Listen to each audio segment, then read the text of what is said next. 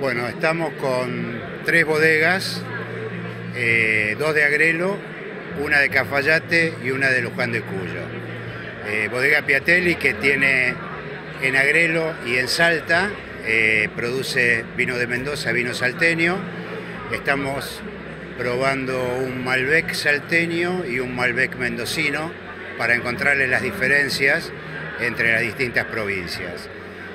Y después estamos con Bodega Duriguti, que son, es una bodega de dos hermanos jóvenes que han implementado toda tecnología de punta. Eh, producen el vino aguijón de abeja y el vino Duriguti. Y una tercera marca, La Madrid, que la produce uno de los dos hermanos Duriguti. Eh, ¿Suelen presentarse así en este tipo de expos, recorrer un poco el país mostrando la calidad de los vinos?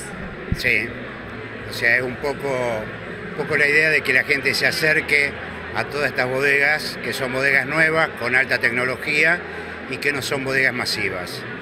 Eh, ¿Usted piensa que la apertura, las exportaciones de nuestro país, que durante muchos años eh, ha tenido, abrió también un poco el mercado interno de vinos en nuestro país?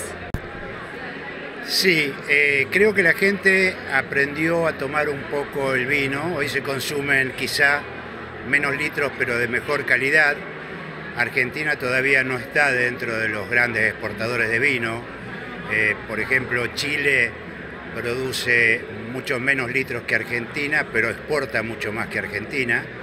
Bueno, en Argentina todavía nos falta un poco desarrollar el mercado externo, pero bien, las bodegas la mayoría está mandando vinos afuera que están muy bien reconocidos. Cuando tenemos que eh, ver la calidad de los vinos, sus diferencias, semejanzas, ¿en qué aspectos tenemos que fijarnos los consumidores, sobre todo, para bueno, poder detectar un buen vino? Es muy difícil la pregunta. Yo creo que el mejor vino es el que a vos te gusta. Pasa un poco por ahí. Después hay formas, distintas formas de elaborar el vino que lo hacen eh, al entendido eh, de tomar vino, un poco mejor, un poco peor, pero hoy se están produciendo todos buenos vinos, o sea, el secreto de esto es calidad-precio, pasa por ahí nada más. En cuanto a la calidad de estos vinos que ustedes están presentando en el día de hoy y las bodegas, eh, ¿qué característica de cada una de ellas podemos dar en particular?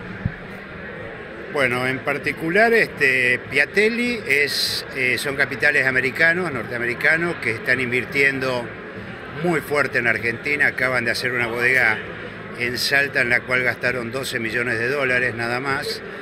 Eh, es una bodega modelo para la gente que va a Cafayate, generalmente la va a ver. Eh, y produce muy buenos vinos que está exportando, la mayoría se lo está llevando a Estados Unidos. Hoy creo que está dentro de los terceros vinos que entran a Estados Unidos.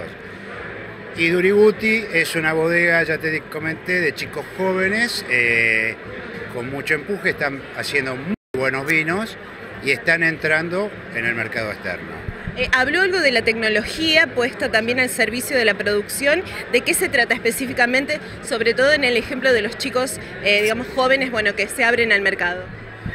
Y la tecnología se basa en muchísimas cosas, desde cómo recolectar las uvas en el momento de la cosecha. Eh, hay uvas que se cosechan de noche para no tener que enfriarlas después artificialmente. Eso tiene un proceso que encarece porque hay que iluminar los viñedos. O sea, partiendo desde ahí hasta las piletas, los tanques que se usan, las barricas, hay barricas de distintos precios.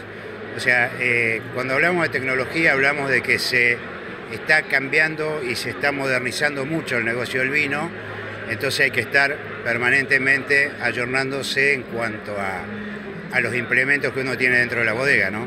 Eh, Sergio, bueno, para finalizar, ¿qué le parece este evento en particular y en nuestra ciudad de San Carlos?